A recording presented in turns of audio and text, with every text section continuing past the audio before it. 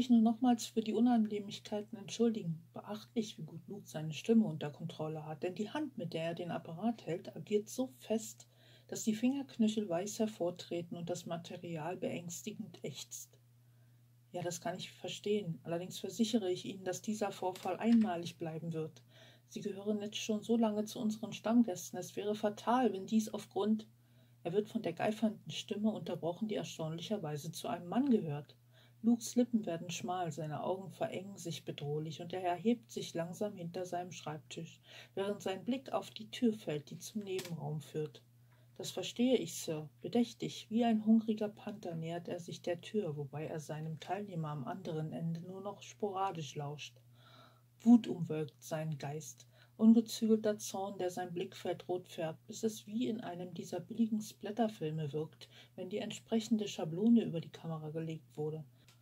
Seine freie Hand hat längst eine Faust gebildet, und auch bei dieser treten die Knöchel unnatürlich weiß hervor. Das ohnehin schon hagere Gesicht wirkt inzwischen noch etwas schmaler, weil er jeden Muskel angespannt hat. Die meisten lassen sich diese Tortur auch gefallen, doch die oberhalb der Kiefer protestieren, indem sie sich schnell und sichtbar unter der glatt rasierten Haut bewegen. Auf seiner Stirn ist keine Falte zu finden, der Zorn hat jede noch so kleine Unebenheit niedergewalzt. In Wahrheit strafft sich die Haut sogar, während die blauen Augen unter den dunklen Brauen so finster erscheinen, dass sie momentan fast als tiefbraun durchgehen würden. Wäre da nicht das Irrlicht, das ihnen ein bedrohliches, fast lebensgefährliches Aussehen verleiht? Er hat die Tür erreicht und hebt seine Faust, die genau im korrekten Moment wieder zu einer Hand wird, um den Knauf zu umschließen. Ja, Sir, das verstehe ich natürlich. Ich hoffe, Sie überdenken Ihre Entscheidung noch einmal, wenn der erste Ärger vorbei ist. Selbstverständlich kommen wir Ihnen bei einem nächsten Besuch preislich ent. Ich weiß das Geld für Sie nicht von B.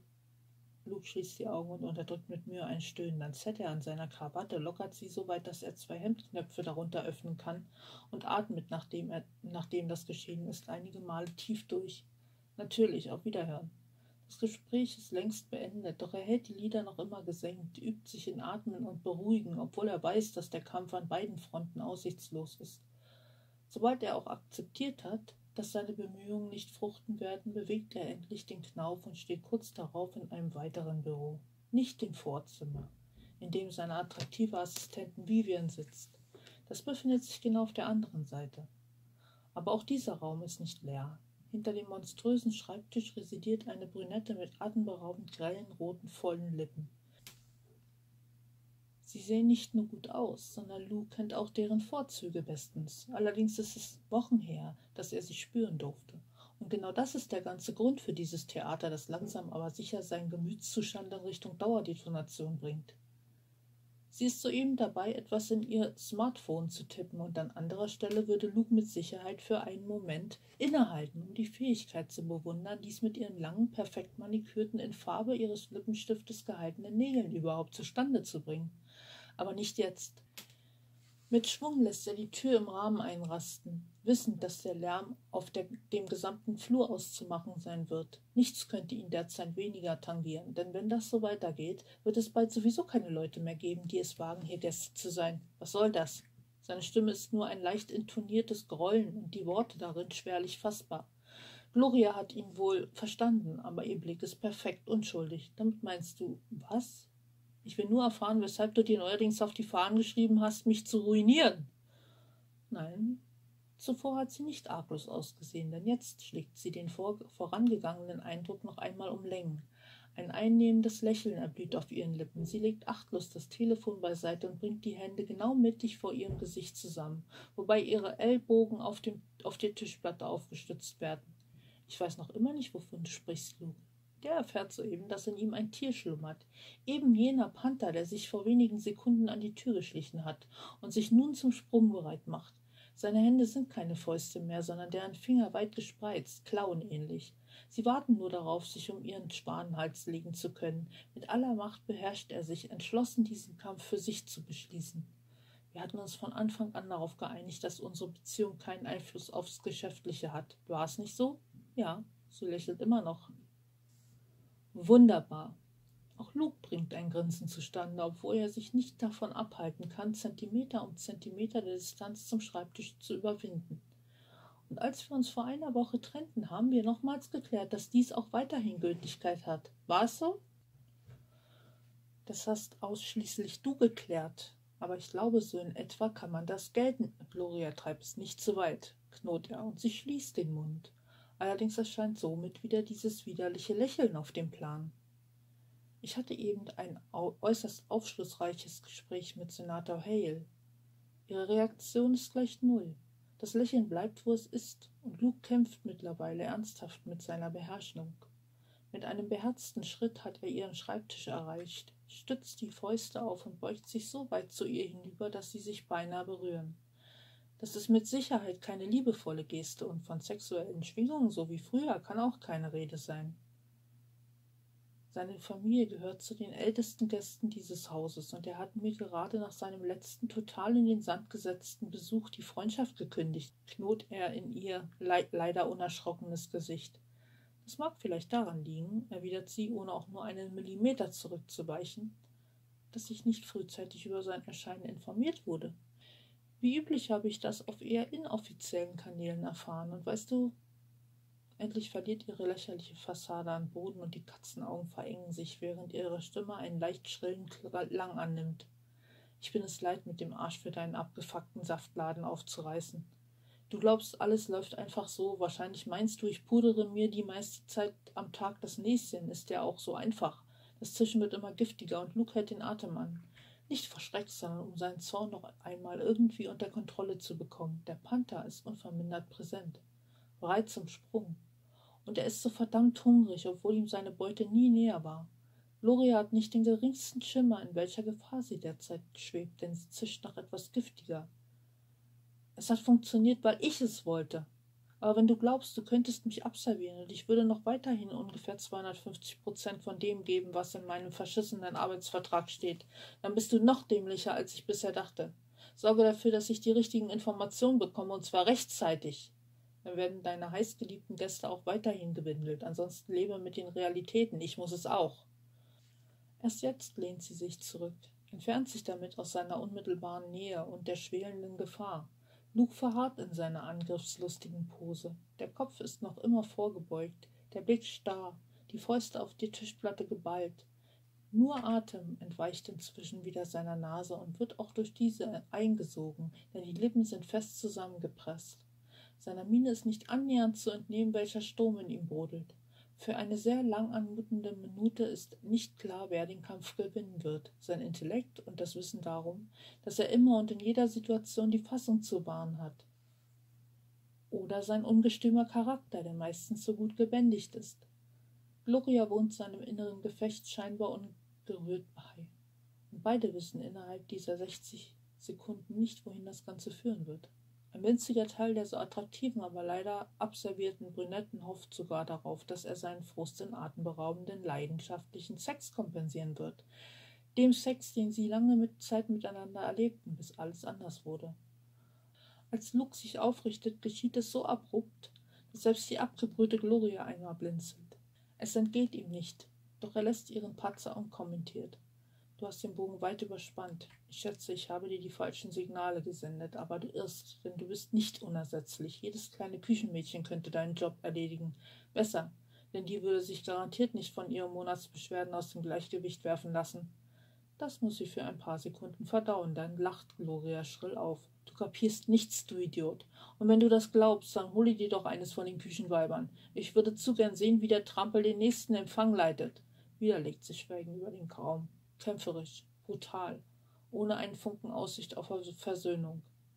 Dann stößt er sich vom Tisch ab, seine Miene ist eiskalt. In Ordnung, das haben wir gleich.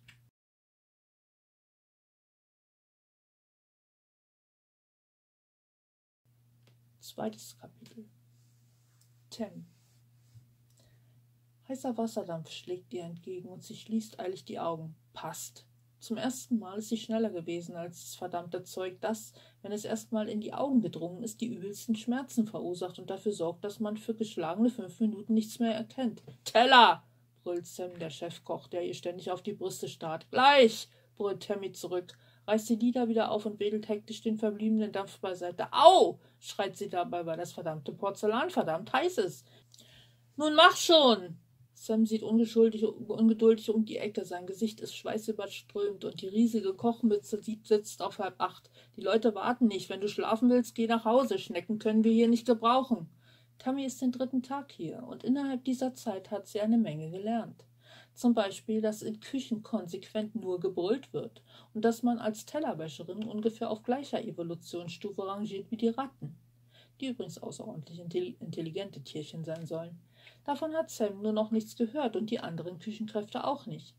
Eilig zerrt sie die Teller aus der Maschine und ist dankbar über den verdammten Wasserdampf, denn der übertönt ihr Erröten, weil dieser fette Koch schon wieder auf ihre Brüste starrt. Das ist sexuelle Belästigung, ganz klar. Aber Tammy ahnt, dass sich niemand für ihre Schwierigkeiten damit interessieren wird. Gleichsam erleichtert ist sie darüber, dass sie die Teller nun vor besagte Brüste pressen kann, während sie zu besagtem fetten Koch rennt. Sie umfasst das Porzellan mit beiden Armen, stürzt los und weiß im gleichen Moment, dass sie verloren hat. Die Lache, die sich auf dem Boden gesammelt hat, war nämlich nicht einberechnet. Als sie mit ihrem Schatz direkt hineinläuft, ein Anhalten ist nicht möglich, kommt sie bereits pro forma ins Rutschen. Verzweifelt müht sie sich darum, das Gleichgewicht zu halten, reißt die Arme auseinander, entlässt damit die Teller in deren sicheren Tod und verliert am Ende selbst den Kampf gegen die Gravitation.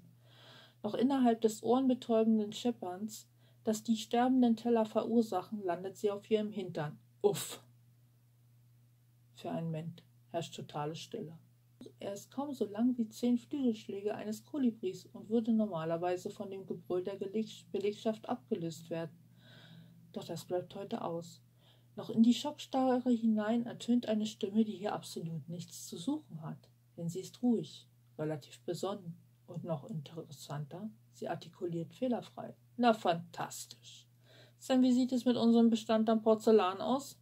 Während ihr Chef noch jämmerlich vor sich hinstammelt, weiß Tammy nicht, ob sie sich umdrehen sollte oder nicht. Zunächst klingt die Stimme nicht unbedingt anklagend. Zwar befehlsbetont, aber nicht nach einer Bestie. Dennoch steht nach ihrem feigen und tödlichen Anschlag auf die edlen Teller mindestens eine Entschuldigung aus, und sie ist momentan nicht davon überzeugt, diese auch glaubwürdig rüberzubringen. Viel zu tief sitzt der Schreck, viel zu laut klopft ihr Herz und viel zu hektisch zittern ihre Hände. Vorsichtshalber hat Tammy noch die Augen geschlossen, um all den anklagenden Blicken nicht begegnen zu müssen. Ein Gedanke beherrscht ihr chaotisches Innerstes. Du darfst diesen Job nicht verlieren. Er ist ihre letzte Chance. Wochenlang hat sie nach einer Anstellung gesucht, was in dieser Stadt ungefähr genauso schwierig ist wie in den gesamten Vereinigten Staaten. Daher war sie selig, als sie ihn bekam, denn somit steht wenigstens ein menschenwürdiges Leben in Aussicht.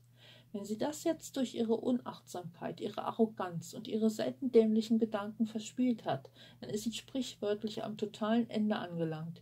Übrigens wird ihr Hintern langsam nass, weil sie direkt in der Wasserlache gelandet ist. Dass sie existiert, ist allein ihr Verdienst, womit sie zu Albüberfluss Regel 359.713 nicht beachtet hat. Der Boden hat stets trocken gehalten zu werden, um etwaige Unfälle zu vermeiden. Feuchte Rückstände sind umgehend zu beseitigen. Das hat sie nicht getan. Sie sind wer? Erschrocken zuckt Tammy zusammen denn die Stimme ist nicht wieder in ihrem Rücken erklungen, sondern direkt vor ihr, und zwar wirklich direkt, auf ihrer Höhe, was bedeutet, er hockt vor ihr. Mist. Das Herzklopfen verstärkt sich, der Schweiß bricht ihr aus, die Hände beben noch härter. Tammy kämpft sprichwörtlich mit ihrer Beherrschung. Der Fluchtinstinkt will, nicht, will sich gnadenlos durchsetzen, denn egal wer der Typ ist, er kann sie zumindest metaphorisch töten. Hier, dass Tammy es an diesem Tag zustande bringt, die Augen aufzuschlagen und nicht abzuhauen, womit sie ihr Schicksal besiegelt, ist einzig und allein auf ihren Überlebenswillen zurückzuführen. Doch es kostet sie übermenschliche Anstrengungen, unter denen sie ihre flatternden Lieder dazu verdonnert, sich endlich zu heben. Zunächst offenbart sich ihr nur ein dichter Nebel, und sie fragt sich für einen Moment erschrocken, ob die verdammte Spülmaschine jetzt total durchgedreht ist. Dann begreift sie, dass sie die Lieder wohl zu fest aufeinander gepresst hatte und blinzelt eilig. Es tut mir leid, Sir, ich, ich, wir werden die Kraft umgehen. Mit jeder Sekunde wird Tammys Blick klarer und so sieht sie, wie eine Hand in die Höhe schnellt und Sam dieses sexistische Arschloch zum Schweigen bringt. Dann macht sie Augen aus, blau, groß, ungetrübt und in ihrer Tiefe faszinierend. Als nächstes sieht sie interessanterweise eine Krawatte, die auf halb acht hängt. Der Kragen des Hemdes sowie die beiden darunterliegenden Knöpfe sind geöffnet. Erstaunlich dunkle Haut offenbart sich, wenn man bedenkt, in welchen klimatischen Gefilden sie hier sind. Sie sieht ein markantes Kinn, das leicht schattig wirkt und daher auf extremen Bartwuchs hindeutet. Schmale Lippen folgen, die weder nach oben noch nach unten gebogen sind, eine gerade Nase und wieder diese Augen. Darüber befindet sich dunkles Haar, das im Nacken zusammengefasst wurde. Der Typ in seiner Gesamtheit hockt tatsächlich vor ihr und beobachtet sie fortwährend. Fuck. Also, Sie sind wer? Hastig räuspert sie sich. Tammys Dream, Sir. Hm. Er nickt, als hätte sie ihm damit eine unglaublich interessante Neuigkeit offenbart. Anscheinend sind sie nicht unbedingt für diesen Job geeignet, oder liege ich falsch? Sir, das sehe ich genauso. Ich schätze, wir haben diesmal in die Schei. Also, äh, das war ein Fehlgriff und, naja, ich habe sie nicht gefragt, nur der Typ, der immer noch vor Tammy hockt. Sie immer noch fixiert und immer noch weder lacht noch sauer wird. Sie spürt, wie das Blut ihre Wangen flutet. Kurzzeitig war es verschwunden, kann sich aber einer gewissen diebischen Freude nicht ganz verwehren. Nimm das, Sam, du feudaler Sack. Wenn du mir auf die Titten glotzen kannst, ist dir fuck egal, wie ich meinen Job mache. Und? wird sie angeherrscht und zuckt wieder zusammen. I ich weiß nicht, Sir, bringt sie hervor, ärgert sich sofort und versucht dann wenigstens zu kämpfen. Ich bin ausgerutscht, das dachte ich mir, erwidert er ernst. Doch dann legt sich seine Stirn in Falten. Haben Sie sich was getan? Ich meine, verwirrt senkt Tammy den Blick, betrachtet ihre peinlich bebenden Hände, ist sich dabei der Audienz des gesamten Küchenpersonals nur allzu sehr bewusst und führt nebenbei noch schnell eine Bestandsaufnahme ihrer übrigen Körperteile durch. Also gebrochen scheint nichts. Nein, alles gut, Sir. Hm. Seine Augen verengen sich, während er sie noch immer fixiert. Blinzelt der Typ auch mal? Offenbar nicht. Dafür kann er sich aber verdammt schnell bewegen, denn in der nächsten Sekunde hat er genau das getan, steht nun vor ihr und hält ihr seine Hand entgegen, was Tammy noch etwas mehr verwirrt. Doch da sie ja nicht ewig sitzen bleiben kann, schlägt sie ein und wird mit einem kräftigen Ruck auf ihre Füße befördert. Anscheinend hat er mit mehr Widerstand gerechnet, denn sie fliegt förmlich nach oben und wird erst von seiner breiten Brust gestoppt. Scheiße! Sobald es raus ist, geht ihr auf, dass sie laut gesprochen hat, und sie schiebt ein entnervtes Stöhnen hinterher. Das Fettnäpfchen lässt sich wie übrig zielsicher aus und nimmt gleich den ganzen Trog. Außerdem ist sie soeben ziemlich abgelenkt, denn ob sie will oder nicht, ihr steigt ein unglaublich guter männlicher, aber gleichsam edler Geruch in die Nase. Darüber hinaus registriert sie, dass er sogar verdammt viele Muskeln besitzt. Der Typ hat sie an den Schultern aufgefangen, womit verhindert wurde, dass sie noch einmal zu Boden geht. Deshalb brennen ihre Wangen inzwischen lichterloh. Ich denke, sagt er gemütlich und vergewissert sich, dass sie tatsächlich in der Lage ist, allein zu stehen, bevor er sie loslässt.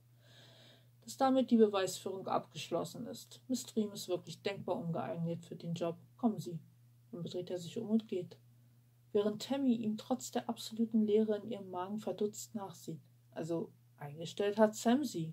Warum will dieser Typ, der ja offensichtlich aus der Führungsetage stammt, dann die Kündigung vornehmen? Jetzt geh schon, du dumme Gans, wird sie von Susan, der Beiköchin, angeherrscht, die sie sonst immer den ganzen Tag umherscheucht. Wer? Geh!